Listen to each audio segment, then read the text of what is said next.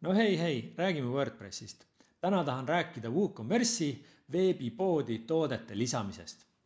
selle jaoks, et tooteid lisada, on meil vaja minna Wordpressi adminis, tooted ja neid lühiteid, kuidas tooteid lisada, on igal pool, aga põhimõtteliselt siin üleval on selline nupp nagu uus toode.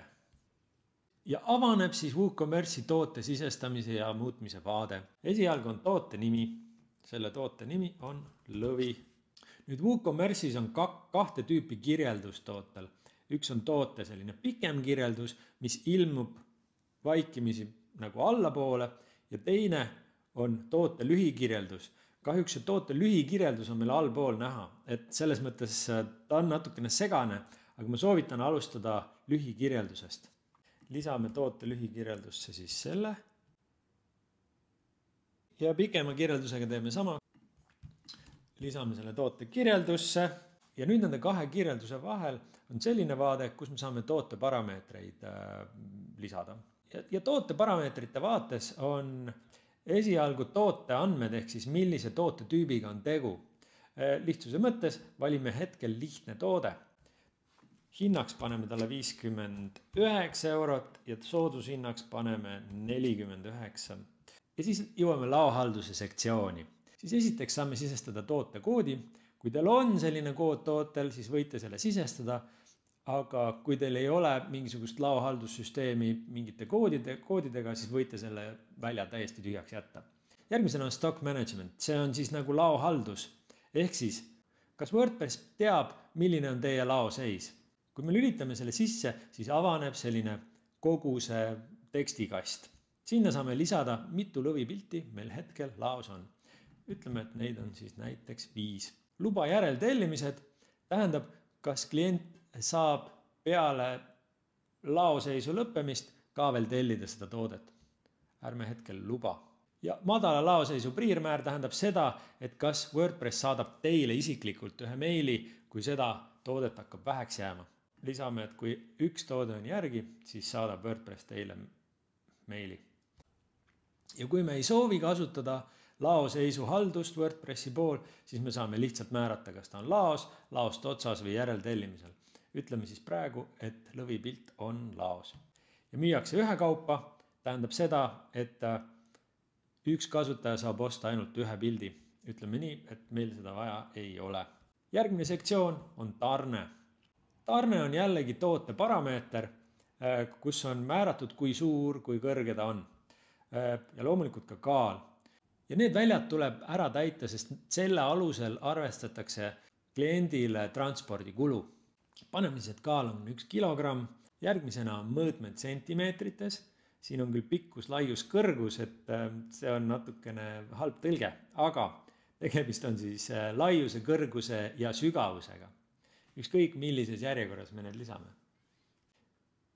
lõpuks on tarneklass ja meil hetkel ei ole WooCommerce'i süsteemis defineeritud ühtegi ta-, tarneklassi, seetõttu jätame selle nii, et tarneklassi hetkel ei ole.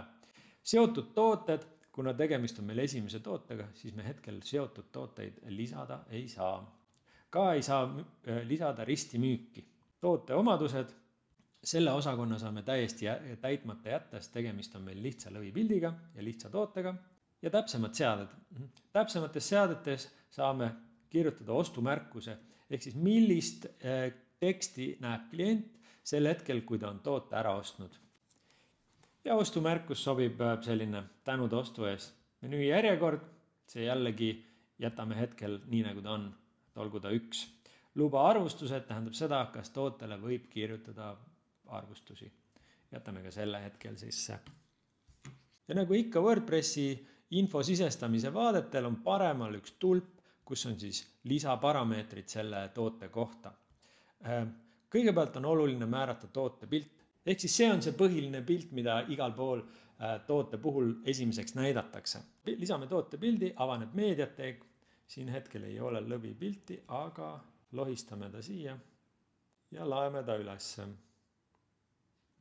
nagu alati jätame selle harjumuseks, et lisame altteksti ja pealkirja ja ilmus meile toote pilt siia ilusti. Ja kui soovime tootele lisada veel pilte, siis saame lisada need tootegaleriisse ja saab need valida täpselt samamoodi Mediateeki kasutades. hetkel meil on lõvipildist vaid üks pilt, siis jätame tootegalerii tühjaks. Äh, ja loomulikult toodetel võiks olla kategooriad.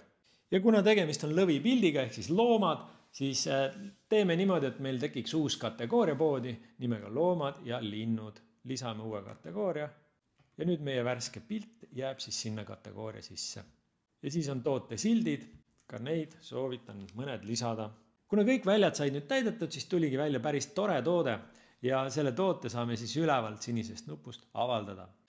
Lähme siis oma koduleheküljele siin on juba meie pood avatud, värskendame ja näeme, et esimene toode lõvipildiga juba eksisteerib ja tal on ka väike allahindlus. Ja näeme välja, milline toote detailid välja näevad, siis on kenasti siin allahindlus, saab lisada korvi, näha on ka kategooria, kuhu ta kuulub. Ja tootesildid. Ja üleval on siis näha lühike kirjeldus, hind loomulikult. Ja all on pikem kirjeldus. ja nii käibki lihtsa toote sisestamine teie WooCommerce'i veebipoodi. Tere, mina olen Tanel ettevõttest Massroom, kus me tegeleme kodulehekülgede ja veebipoodide arenduse ning haldusega. kui sul on Wordpressiga abi vaja, siis kirjuta mulle info at massroom.ee